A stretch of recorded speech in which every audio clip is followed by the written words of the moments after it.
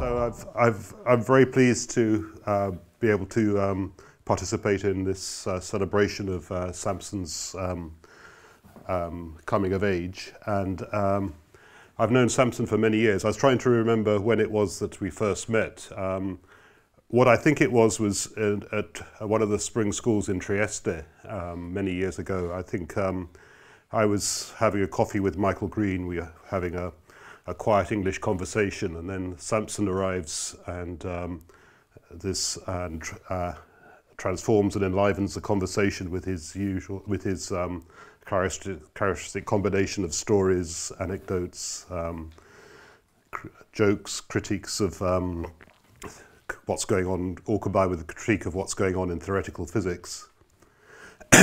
um, I was um, talking um, with one of the other speakers about the difficulty of knowing quite what to say about Samson in this in these sort of morning sessions, since there's um, so many great stories of Sam about Samson, but most of which are probably not right for talking about this time in the morning, especially not when the lecture is being recorded. Um, so, um, but I think it's also, but Samson also has his serious side, and I think it's very good that um, we have a scientific meeting here to recognize um, his many uh, scientific achievements. Um, he's done a great deal of uh, important things. Um, and perhaps it's, it's probably true to say that he hasn't perhaps got the credit he perhaps deserves for many of the things he's done. And it's very good that a lot of the talks here are um, recognizing and remembering some of the things that he's done.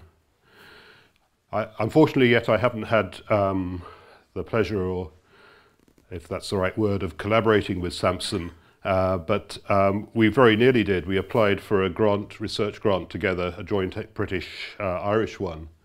Um, so we heard yesterday about um, Connes' criterion that we shouldn't think about um, whether something is mathematics or physics, but only whether it's true or false, whether it's right or wrong. And it seems that um, it's not clear what happened, but it seems that um, one of the ju judgments on our grant proposal was that it was um, um, too much physics and not enough mathematics. Um, so, um, but what I want to talk about today is some of this, um, some of the things which we might have got, some of the work I've been doing, which might have been part of that, collab that collaborative effort involving special holonomy manifolds and related things. Um, someone asked me whether the word degeneration in the title had anything to do with Samson. Of course, uh, it doesn't. It's referring to um, uh, um, degeneration of geometries. Um, but of, uh, but, and I thought there was no connection. But then, um, as many of you know, Samson has been involved in uh, an art film project over many years. And I heard, I learned yesterday that two of the films from that project are um, uh, have been uh, nominated for the Berlin Film Festival. And one of them, it turns out, is called Degeneration. So I was wondering if there was any, so not believing that there's not, there can't be a coincidence, I looked to see what it was about. And it was about a, a, res, a, research, a physics research institute uh, where the members there were, um, involved, were facing what it called an existential crisis. And um, being the kind of film that it was, um, that resulted in some degeneration and it all ended very badly as far as I can tell. But um, uh, I was very uh, relieved to see that although some of our uh, esteemed colleagues were involved in this film, it seems that Samson was not part of the degeneration film. So I hope that he'll long stay um, free from such uh, existential crises. Um, So uh, the work I'm going to talk about was some work I've done, been doing over the last few years with uh, my student Nipol Chaemjumrus. It's taken me a few years to learn to how to begin to pronounce his name. I still haven't got it right. Um, from Thailand. Um, and um, the general theme is understanding uh, relationships between string theory and geometry. Um, Uh, we know that we have a picture of string theory as uh, uh, formulated as a perturbation theory, and we know a lot about um, now know a lot about the ingredients involved in that. Um, But the dualities we've uh, discovered have revealed um, a, a, surprising non-perturbative structure to the theory, still very poorly understood.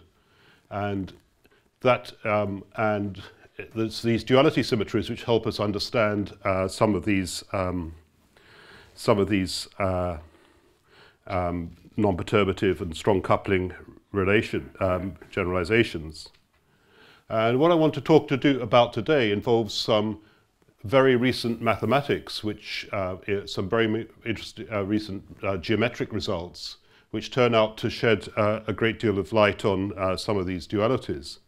In particular, it gives a, a, a very an interesting relationship between um, some some of the ingredients in perturbative string theory inv involving branes and orientifolds and related things, and um, and uh, certain um, um, geometric uh, properties, and it, it, does it in such a way that it um, immediately lends itself to all sorts of generalizations, and it looks like it's going to be a very profitable way of trying to understand and unravel things both about um, the perturbative about um, non-perturbative string theory and about geometry.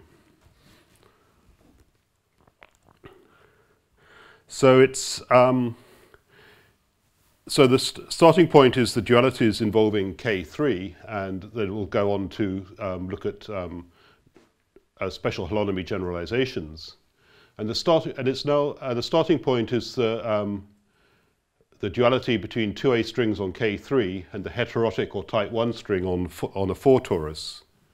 So it's, um, it's, in fact, it's about 25, it's almost exactly 25 years since uh, Paul Townsend and I proposed this duality. Um, and it's, it's quite intriguing that there's, although it's a lot of evidence in favor of that, there's still a lot of mysteries, mysteries involved in this. One way of understanding some of this is, is, is um, a standard um, duality argument where um, this a, yeah, um, where if you take um, type 1 string on a 4 torus, um, then you can, via a chain of T and S dualities, you can get to the type 2A string on an orbifold of T4 modded out by a Z2, a 4 torus modded out an orbifold of a 4 torus, and um, this gives us, and this is a special orbifold point of the K3 moduli space. So it gives um, it gives a proof of the, uh, a derivation of this duality at one particular point in the moduli space of K3. Um, and then one could try and argue um, how to move away from this um, point by understanding how to move away from the, this point in the K3 moduli space and the corresponding moving away from that point in the type 1 theory. And, um, and this is um, quite a fruitful way of doing that, uh, doing, of understanding this. Um, but um, one of the problems is, one of the issues which arises in thinking about this directly is that when you move away from this point in the moduli space, there are no longer any isometries and no longer any conventional T-dualities to use, so that um, the duality is no longer, can no longer be understood in this um, simple way. And some of the new mathematics I'll be talking about involves um, particular um, identification of a, of a, um, a region of the moduli space of K3, which, um, in which we can um, understand some of this quite explicitly. And in particular, the chain of dualities taking um, type 1 to 2, 2a on K3 takes the D-branes in type in the um, type 1 theory to Kaluza-Klein monopoles in, uh, on the, and, um, and it gives a picture in which the D-branes here are represented by Kaluza-Klein monopoles, and I'll be saying a lot more about that. But there are also orientifold planes in the type 1 story, and um, this whole story will lead to um, um, some kind of, should lead to some kind of geometric dual for these orientifold planes. And in this way, um, it will give us a new picture of K3 and a new understanding of orientifold planes at strong coupling and a rather explicit picture of the dualities. As I mentioned, I'll be using um, some new results um, from geometry, but in fact, um, this um, stringy duality picture, um, in, some, in some sense, um, predicted, could have predicted that there should be this picture of K3 which involved um, the moduli space being understood in terms of positions of, um, K, of Kaluza-Klein monopoles and so on. so um, a starting point will be to think about um, type 1 string on a circle. So thinking about um, a, uh, a, circle across nine-dimensional Minkowski space. Um, if you do a T-duality, um, it replaces the circle by a, a circle modded out by Z2.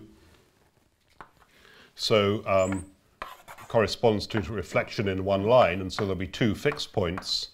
And in this picture, um, in the string theory, we need we, one learns that one needs to insert an orientifold plane at these two points. So we're looking at a circle across um, nine-dimensional Minkowski space. So we get a nine-dimensional plane at each of these two points. And because there's this reflection symmetry, we can think about just considering the half, a half of the circle with these at either end. And we have a picture of um, a line interval with an orientifold um, plane at either end. So we're taking the product of this with nine-dimensional Minkowski space.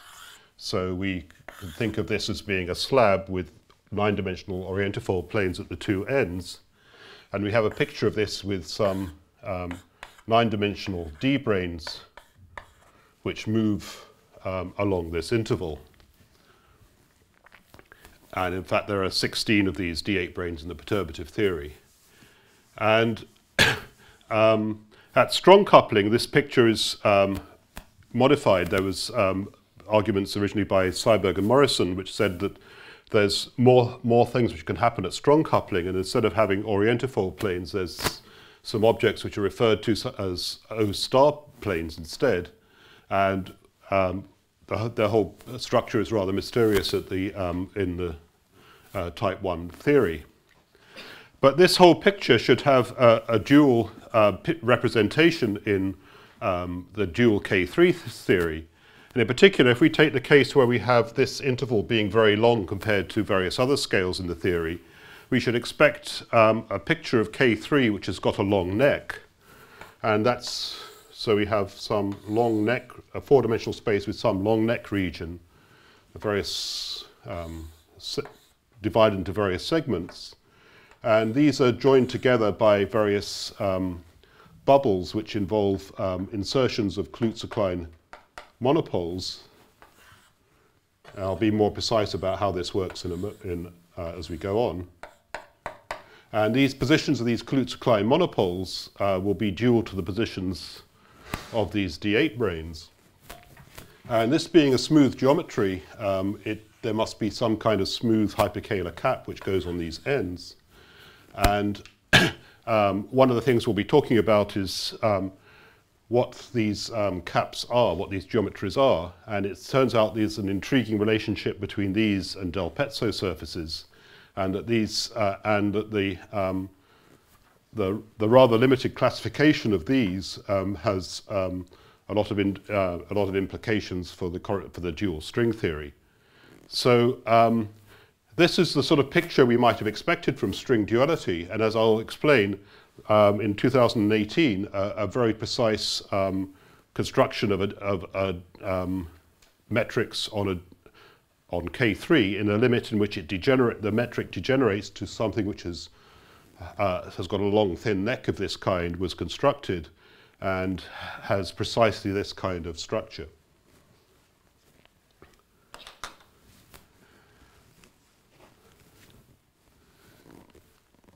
And this whole story leads itself to further directions. Um, one thing I'll say a little bit about is um, um, the very interesting generalization to special holonomy where um, this picture in terms of branes gets related, gets generalized to one involving intersecting branes.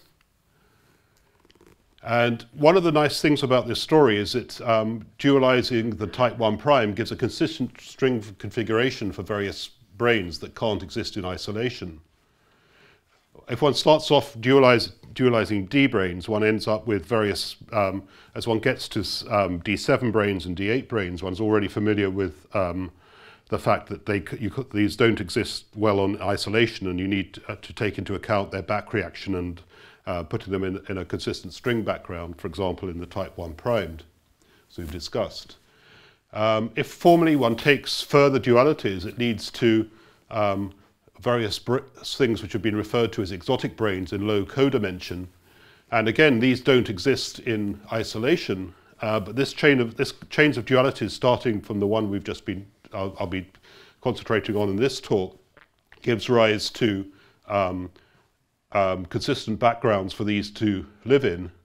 Uh, and in particular, it takes the K3 to, non, to certain non-geometric backgrounds, T-folds and related things. And then the, the picture of, um, and then we have a picture of, um, instead of K3 uh, instead of K3 being understood in terms of Kaluza-Klein monopoles living in this background geometry, we understand it in now in terms of um, exotic branes in terms of a T-fold background. So, um, so let me um,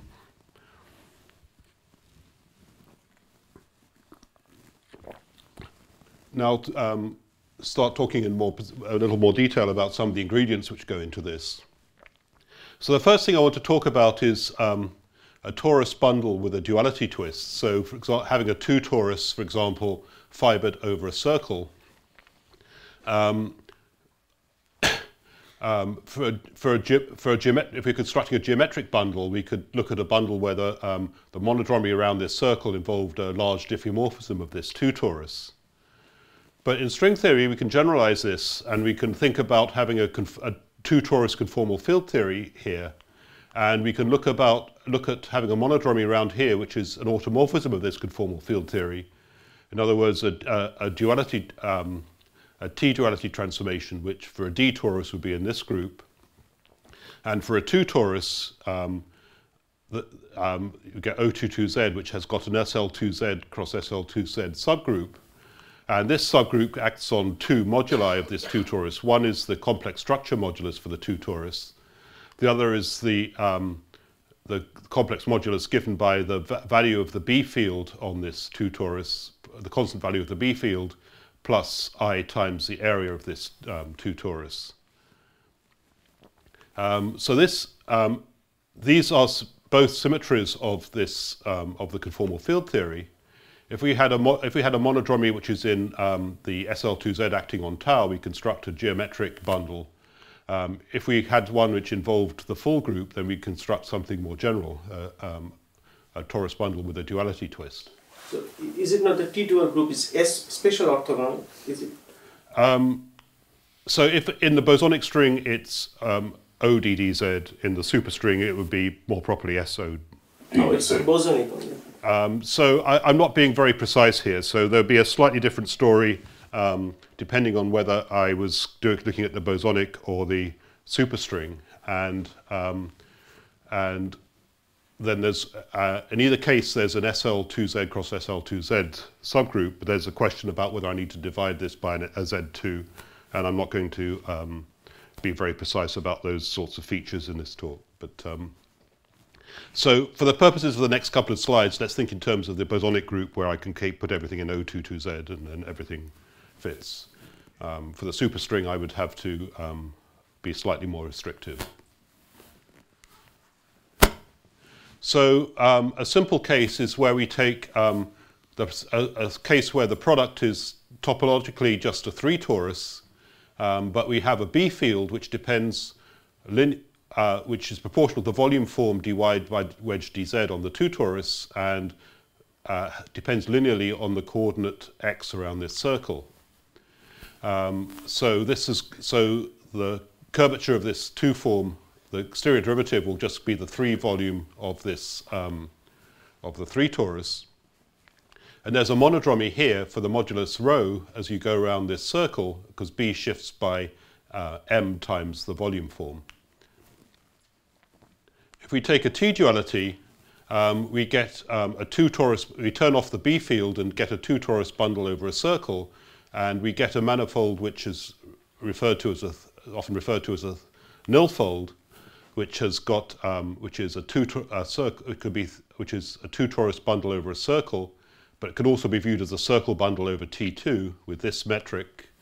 And there's a monodromy, um, a geometric monodromy in which the complex structure sh uh, modulus shifts by an integer m here.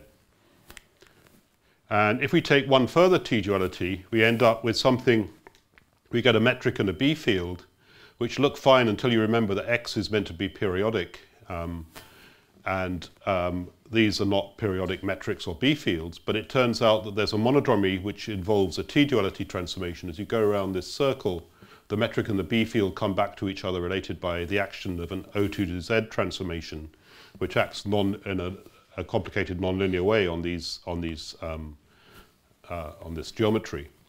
Um, but because this is a symmetry of the uh, an automorphism of the two torus conformal field theory, this is still a good um, string theory compact um, construction. So this gives a nice um, uh, duality orbit of um, of geometries, which is often often discussed.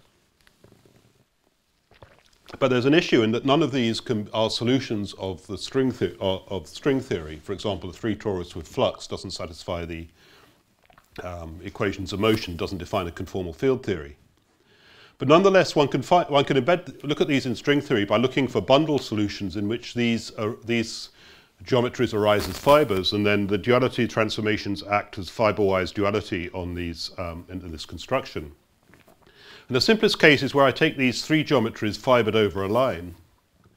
And in particular, the case where we have the nilfold um, fibered over a line um, gives, it, it gives a construction which admits a hyperkähler metric. So this metric can be understood as a, uh, as a kind of Gibbons-Hawking uh, metric. So as will be familiar to most of you, um, the Gibbons-Hawking metric is a four-dimensional Kähler-Ricci flat or hyperkähler metric, which is um, given as a, um, a, circle bundle over uh, an R3, which is um, where you have R3 with um, these coordinates, and we have a circle fiber with coordinate y, and um, we have um, V being a harmonic function on R3 and um, omega satisfying this equation. And we, if we allow the harmonic function to have delta function sources at some points, we have a circle bundle over R3 with some points removed. And remarkably, um, this is regular at the sources of these um, of this um, harmonic, uh, the sources Ri of these things, if m equals 1, and this gives a multi-Taub-NUT space, and there are simple orbifold singularities for m greater than 1. So um, in this way we construct um, um, a, a, a, metric over the whole of R3, not just on R3 with the points removed. So one way of um, put, so part of the ingredients will be looking at trying to put this on a torus, so we can um, think about um, so-called smeared solutions where we take this harmonic function on R3 and choose the potential to be independent of one or more coordinates. And the coordinates which it's independent of, we can then choose to be periodic and, um, uh, and can be periodically identified. Um, so for example, um, if we used to smear on x and y, we take v to be a harmonic function just of tau with x and z independent of x and um, z. So that, that y should be a z. Um, then we have a harmonic function in one variable, which is just a linear function or piecewise linear function where we can allow there to be a, a kink at, um, say, tau equals zero, where there's a, um, a jump in the gradient. And we can think of this as giving a domain wall um, which is a two-plane dividing the transverse three space, three-dimensional space into two parts for tau bigger and less than zero. And the difference between m and m primed can be thought of as being associated with the energy density or the tension of, the, of this domain wall. So this is a very nice construction, but one of the disadvantages is the metric one constructs this way is typically singular, and that's something we're going to have to deal with that, deal with. So let's look at the um, smeared Gibbons-Hawking metric where we take um, this um, linear potential. Then we, if we, we get this metric and if we notice that if we take a look at it for uh, fixed tau um, the metric becomes precisely the kind of nilfold we were talking, the nilfold metric we were talking about before, which is a circle bundle over T2 with um, um, representative of the first Chern class given by um, this 2 form and m is required to be an integer. And this can be thought of as a quotient of the group manifold of the Heisenberg group by a uh, discrete subgroup. So here we have a picture of um, a nilfold fibered over a line, the line parameterized by um, tau, and there are domain walls um, at the places where the, um, the um, gradient jumps here, and uh, the um, and so we have a, a, set of domain walls separating these uh, nilfolds, uh, this um, nilfolds, um, this nilfold bundles over a line. And to get a string solution, we take a product of this with six-dimensional Minkowski space, getting a 10-dimensional metric, and this could be thought of as a metric for a smeared Kaluza-Klein monopole. With the original Taub-NUT metric, it's precisely the, what's referred to as a Kaluza-Klein monopole metric. And now we can look at the T-dualities. Um, if we take um, the nilfold fibered over a line, we've got um, three circular directions, um, the x, y, and z directions. And we can look at um, T-dualizing in any of those. So if we um, T-dualize in this coordinate, the one of the circle of the fiber of the circle fiber, the y coordinate, we end up with a metric which is um, conformally flat, it undoes the topological twist, but turns on a B field, and we end up with a, a, a three-form uh, H given in this way. So we get um, uh, a, a, conformally flat space, but with um, the conformal factor given by this uh, piecewise linear uh, potential. The 10-dimensional solution is that we take the product with Minkowski space, and this is the metric for um, a Neveu-Schwarz five-brane uh, smeared over the three directions x, y, and z, uh, which are, then identified to give a transverse space instead of it being a transverse space being R4, it's R cross T3. And we could do a further duality and get a T-fold fibered over a line. Um, and, um, but I won't um, say a lot about that today. This generalizes straightforwardly to having a multi-domain wall solution where having a, a, general piecewise linear function with kinks at a set of points tau i, and with a domain wall um, with um, energy density given by the jumps at each of these points. And um, and it, it was uh, it's also interesting to know that you can also think about single-sided domain walls. If we have this linear potential, this is invariant under reflection tau to minus tau. And if we quotient by this reflection, this gives um, a solution just for positive tau. And you could think of there being a single-sided domain wall at the point at the boundary tau equals zero. So these are going to be some of the ingredients we're going to look at, um, but these are, as it stands, these are not um, consistent string backgrounds. Uh, away from the domain walls, we get to have a hyperkähler space, which is a good solution, and the duals um, also give conformal field theories away from the, those, but, there are but the domain walls are singular.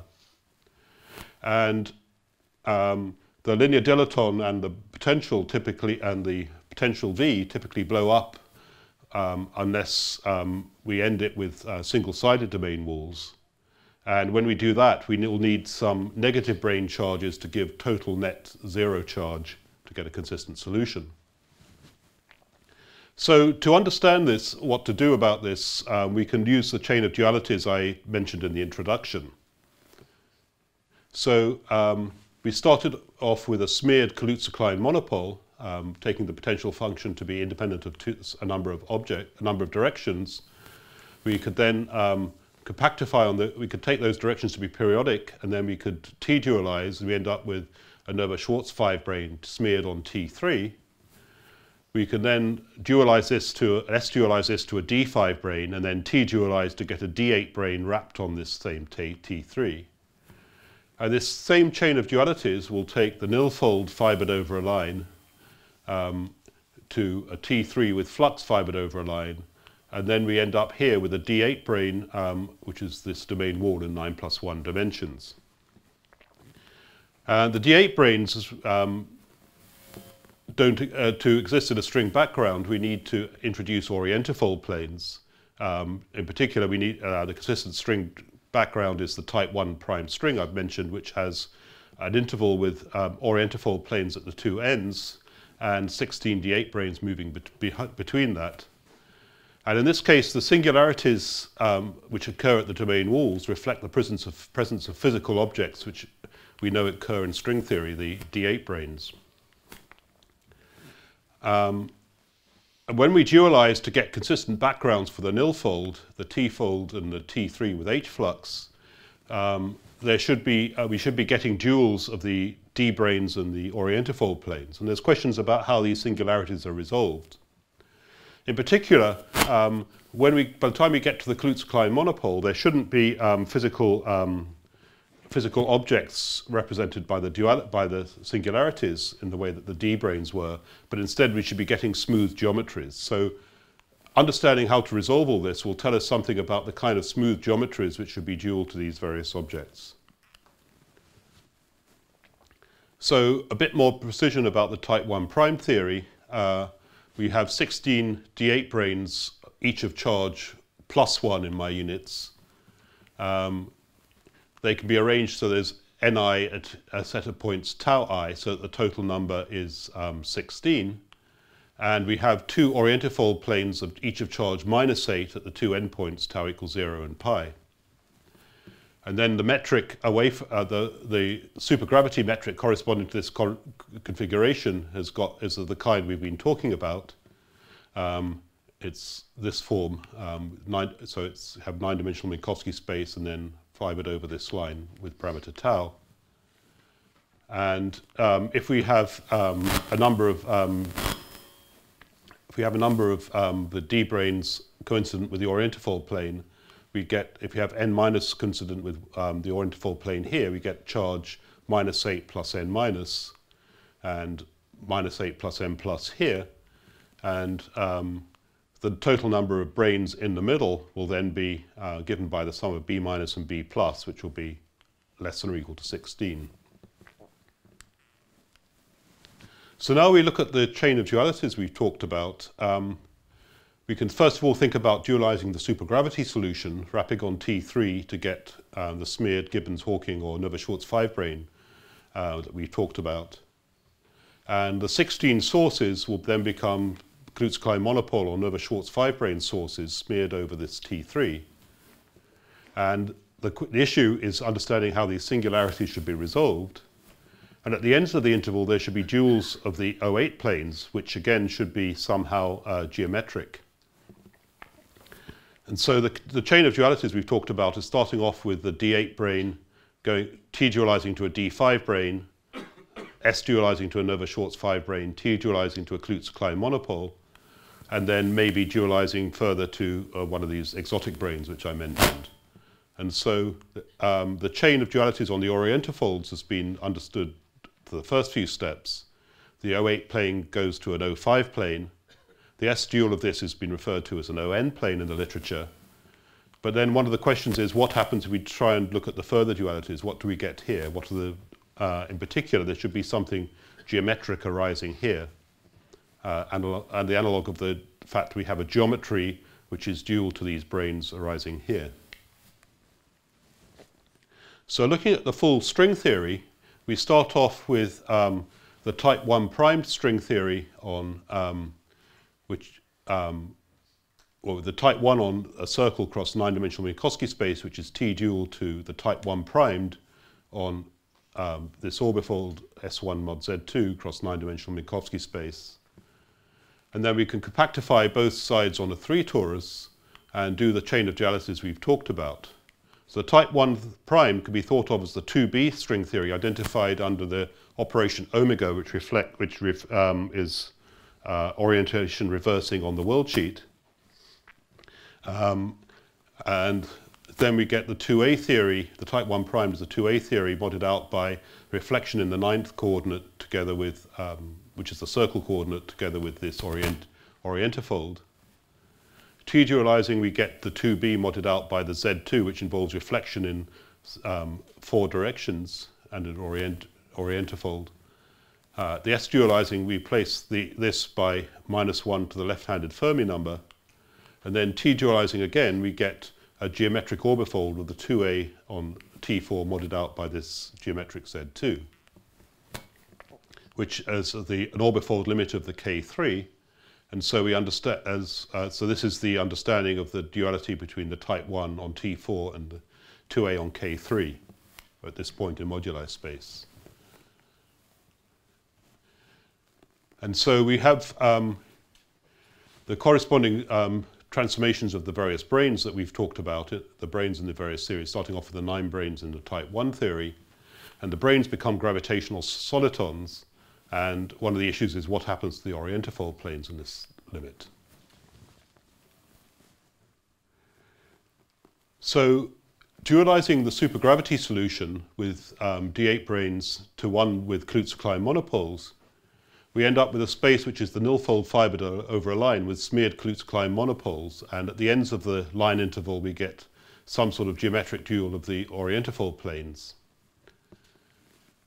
And um, this is the same set of dualities which we get from dualizing the type 1 prime string, which takes it down to 2a on k3. So this is an argument which predicts there should be a region of the k3 moduli space where the k3 looks like this picture I drew here where we have um, a long neck regions, which are the nilfold fibered over a line, and um, there are jumps in the degree of the nilfold, the integer m characterizing the bundle, and at these jumps there'll be regions which have Kaluza-Klein monopoles, and there'll be and at the ends there'll be um, geometries at the ends of the interval which look like the duals of the O8 planes.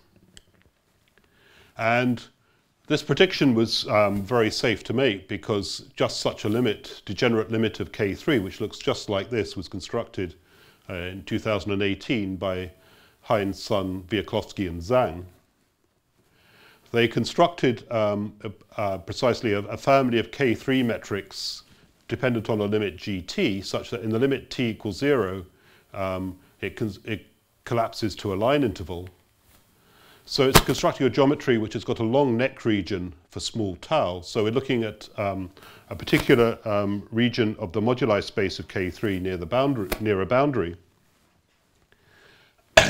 and each the, the neck is split into segments, each of which is a nilfold fibered over a line.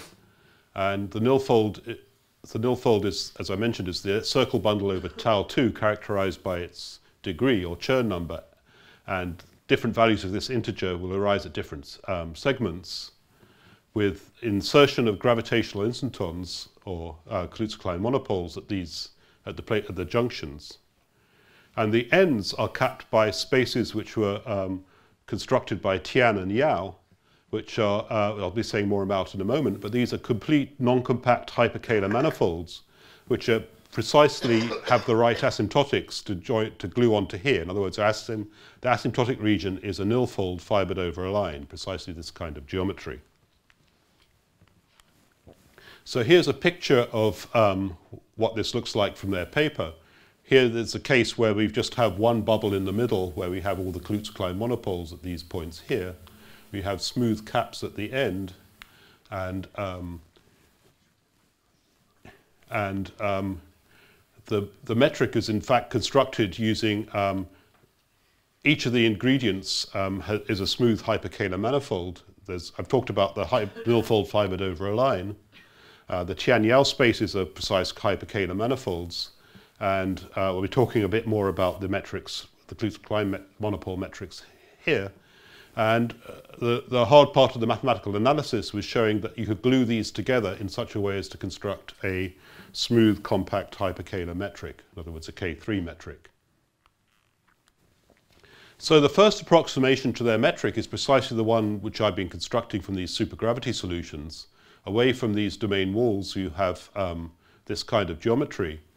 And the way they resolve these um, the singularities is that the um, at the end point, the, the single-sided domain walls at the end, we resolve with the Tian-Yau spaces, and um, at the um, the jumps points, the tau i, it's resolved using um, um, a Ooguri-Vafa construction of the, using the Ooguri-Vafa construction for hyperkähler uh, for Kaluza-Klein monopoles.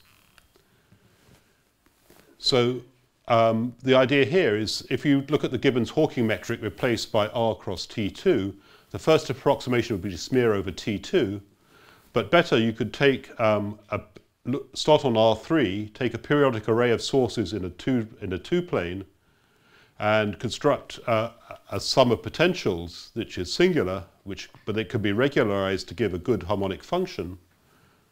And then when you've got a periodic array, you can, take, you can periodically identify to get a single source solution on R cross T2. Um, and near the source, it's non-singular and looks like a Taub-NUT um, construction. And um, one of the, and this all works fine, except one of the tricky points is that because of the regularized sum, the solitons are only the, the solutions are only regular on a finite interval in R. Um, if you try and extend it beyond that, then the potential V, which we talked about, becomes negative and the um, signature flips. So we resolve um, the Gibbons-Hawking metric by uh, an Ooguri-Vafa metric on R, R cross T2 um, with a monopole charge n. And so these will be, these bumps in the middle will be the, precisely these um, um, Ooguri-Vafa type solutions. Near the, near the sources, we, it looks like an n-center multi-Taub-NUT um, solution. Um, and um, if we have coincident ones, we get an orbifold singularity. And um, in this way, we get um, a fine, we get a consistent uh, metric on some interval in this region here, and far enough, and so um, each of these um, each of these kinds of metrics only works for a finite domain, and the, and the hard part is showing that these can be glued together. So let me say a little bit about the Tian-Yau spaces which arise at the endpoints. These are, these are complete non-singular, non-compact hyperkähler spaces asymptotic to a nilfold over, fibered over a line. And these are constructed from so-called Del Pezzo surfaces by um, subtracting, by cutting out um, it's what's essentially a two-torus, more precisely a smooth anticanonical divisor. And on this um, space here, one can, Tian and Yau had um, an, a, a, an, existence proof of the existence of um, metrics of this kind. So just like the um, Calabi-Yau story, it's, it's an existence proof rather than a construction. The Del surfaces are complex algebraic surfaces characterized by their degree, um, which can run from 1 to 9. Um, for degree 9, it's CP2. Um, a degree for degree b, it's given by blowing up 9 minus b points in CP2, and there's a second one of degree 8, which is CP1 cross CP1. And this is, gives a complete classification of um, the Del Pezzo surfaces and hence of these um, uh, Tian-Yau spaces. So the Tian-Yau space uh, is constructed from the Del Pezzo surface of degree b, and it's asymptotic to a to precisely to a nil, a nilfold where the degree of the del Pezzo becomes the degree of the nilfold. And we can extend this to degree zero by taking, by considering the case where M is uh, what's referred to as a, uh, a, rational elliptic surface.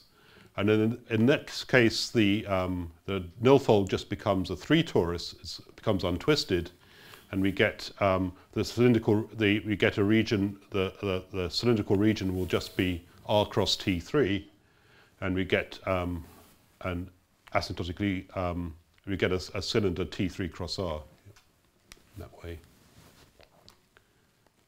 So we take, um, so we resolve the singularities here with um, Ooguri-Vafa metrics at, the, um, at these domain walls, and at the endpoints we introduce um, Tian-Yau spaces, the degree of the Tian-Yau spaces goes up to 9 because of the classification of the, um, uh, of the Del Pezzo surfaces, so that the charges of the um, insertions of the Kaluza-Klein monopoles have charges up to 18. Uh, this almost agrees entirely with the type 1 prime picture, but instead, but whereas the type 1 primed, we got, there were 16 D8 branes, here we get 18 instead of 16. So um, we're finding this um, almost precise agreement from what we'd have expected from duality, apart from the fact that we get 18 instead of 16 here. And the resolution um, is, as I mentioned in the introduction, is that this is this the idea that you have 16 D8 branes is correct at weak coupling uh, for the perturbative type 1 prime theory, but uh, strong coupling, uh, it turns out that an O8 plane can emit one D8 brane to leave a new kind of plane of charge minus 9, the so-called O8 star plane. So then with strong coupling, this would give a picture of the type 1 prime where you had O8 star um, planes at either end and 18 D8 branes uh, on the interval, or we could have some of them, uh, some of the branes coinciding with the O8 star planes. And then we get exactly the same equations as we get for the um, degenerate K3, and both cases have 18 sources. And this allows for, and these 18 sources are, allow, are needed to allow for some of the gauge symmetries which we know, um, from, for example, from the heterotic dual should arise here. For example, the possibility of SU18 gauge symmetry. So if we look at um, matching the moduli spaces uh, now, um, we see that um, the type 1 prime moduli space is given by this coset um, which has got 16 D8 brane positions, um, a, a, the value of the dilaton and the length of the um, circle or the interval. And after um, dualizing, this gives an embedding of this type 1 prime moduli space in the moduli space of K3, um, which is, of course, a much bigger metric uh, moduli space. And um, we can, in particular, we can understand um, the moduli spaces as, um, in this way. So, for example, if we look at the orientifold of 2b on T4 mod Z2, which arises as um, one of the duals, um, we, to understand how T4 mod Z2 um, looks like a, a long interval, um, or in other words, what this T4, this K3 looks like in this, uh, in the, um, as a dual of how, how this moduli space is embedded in the moduli space of the K3, we can parameterize um, T4 mod Z2. We can regard this as T3 cross an interval, um, where at the ends of the interval we identify the three, the three torus at the ends by uh, Z2. So we have a long neck which looks like, where if we take the interval to be long, we have a long neck which looks like T3 cross I, cross the interval, but the ends pinch off to, to um, get um, this um, restriction. And then the moduli come from the positions of branes on this um, picture. And um, if we then dualize one further, we get a picture of the K3 with a long neck across the dual of this T3, which is, becomes the nilfold. And we get the moduli from the positions of the Kaluza-Klein monopoles. So we see that the duality between the heterotic or type 1 on T4 or, and 2A on K3 um, are understood as T and S dualities at the orbifold point, but not at general points in the K3 moduli space. It doesn't extend there because there are no isometries. However, the matching the moduli spaces of the two theories means that we can understand how what the corresponding duals are um, and the duality at one point in the moduli space formally leads to a duality at all points. And in particular, we can translate moving in the type 1 prime moduli space into moving in the uh, 2A moduli space in this way. Um, how much time do I have? We started late, maybe three minutes. Three minutes, okay. So I'll say a little bit about the non-geometric generalizations. Um, there's a generalization where we replace the three-dimensional nilfold with a higher dimensional nil manifold which instead of being a circle bundle over a two torus becomes a Tn bundle over a T over a torus bundle over a torus.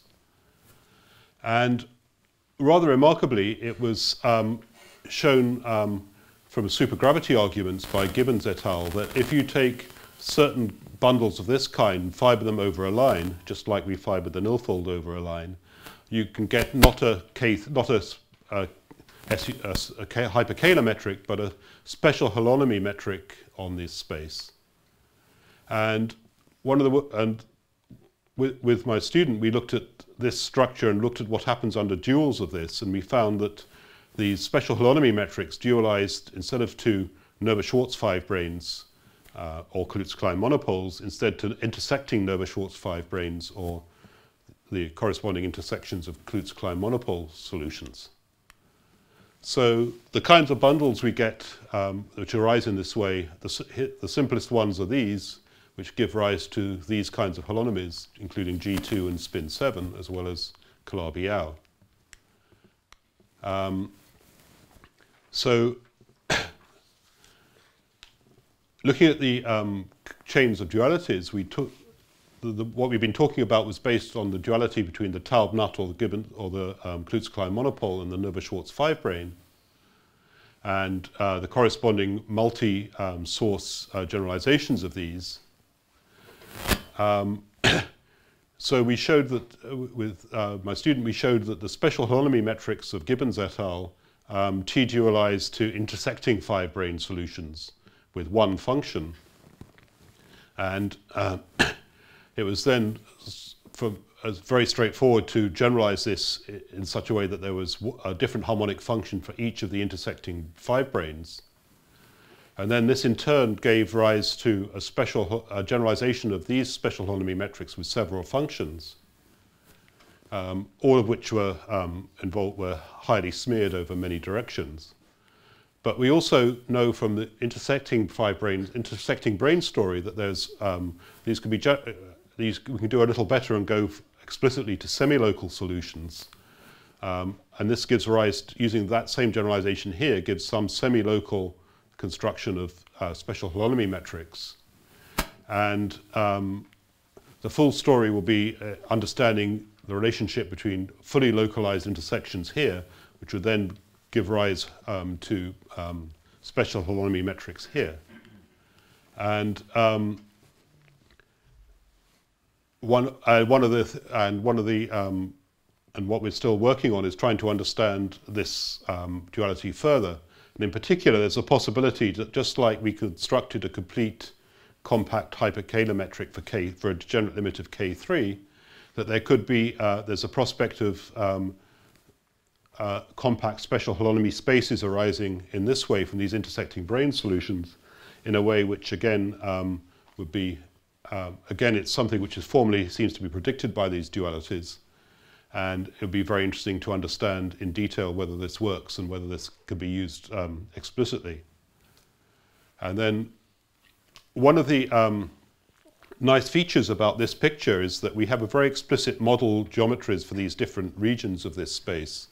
And because um, the in individual regions, apart from the endpoints, we understand um, they have isometries, we can explicitly do T-dualities and other dualities for the model geometries which are glued together um, in this full metric. And so we can go some way to understanding um, the effects of string dualities, at least at this um, in, in some detail, at least at this region of the moduli space. And, it, and in each case, it gives pict uh, a picture which is consistent with what we'd expect from our understanding of string theory. Um, it's also intriguing that um, Del Pezzos are arising here in an interesting way. And um, it's also intriguing that Del Pezzos have been um, invoked as um, having structures which are dual to many, which seem to reflect many other um, structures which arise in string theory, um, in particular relations to U-duality. But the chairman's standing up, so I'll just quickly come to the conclusions. Um, the, I've talked about the nilfold and its dual giving local um, solutions uh, by of string theory fibering over type 1, uh, fibering over an interval. Dualizing gives uh, full string, dualizing type 1 prime shows how to incorporate these into full string theory solutions. And it gives an interesting uh, realization of K3 at a particular degenerate limit as a nilfold fibered over an interval with Kaluza-Klein monopole insertions and Tian-Yau end caps. And it's a very interesting approximate geometry for K3 that allows explicit duality transformations in an interesting way. Um, and, we, and we see that um, the, some of the non-perturbative effects of orientifolds like the O8 star planes now after these S dualities become perturbative uh, aspects of the dual geometry in type 2a and we can understand um, that the O8 uh, uh, in the type 2a picture the O8 star and the, uh, and the normal orientifold planes are very much on the same footing and it's um, and the, and it's led to a lot of int some interesting ongoing work involving generalizations of special holonomy manifolds and to uh, non-geometric duals to all of this story. Um, but that's um, for the future, and I'll stop here and um, once again wish Samson a happy birthday.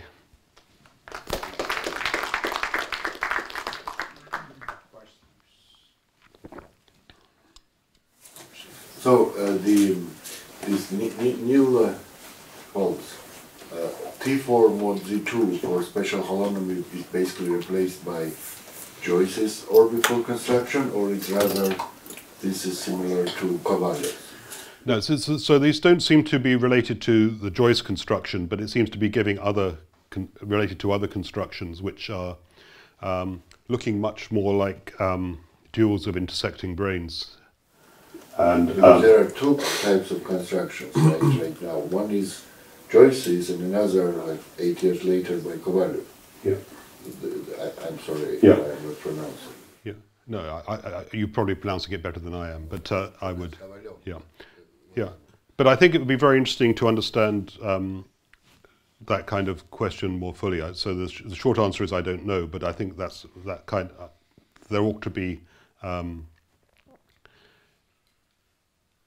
I mean, looking for the orbifold, the analogues of the orbifold point T4 mod Z2 in this story, is a is a very natural place to try and understand these dualities and then. Z2 square yeah. was for uh, yeah. Joyce, right? Yeah. And, uh, and it, it was almost like T4 mod Z2 fibered over another T3, right? Yeah. No, singularities were always Kummer.